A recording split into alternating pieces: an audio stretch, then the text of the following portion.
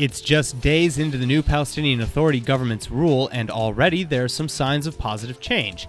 This, as PA Foreign Minister Riyad al Malki announced that President Abbas would be willing to meet with Prime Minister Netanyahu without preconditions. Well, the question then on Israel's side of the fence is whether or not these intentions are as true and honest as they seem. And the answer is murky.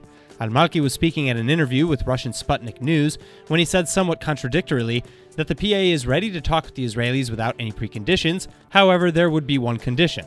And that condition is that the meeting would have to be set up by Russian President Putin as opposed to the United States.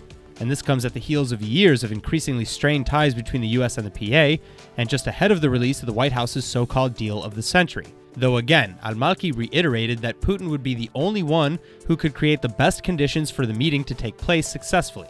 And he added that again, the PA would reject any proposal that doesn't resolve the conflict with the Palestinian state anyway, which the American deal is thought not to have.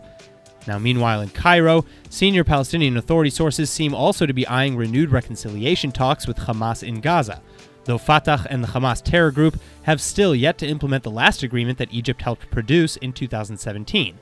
And indeed, the PA has also long been sanctioning the Gaza terror group for its continued talks with Israel. So, again, whether all this talk of peace is for real or just another smokescreen remains to be seen.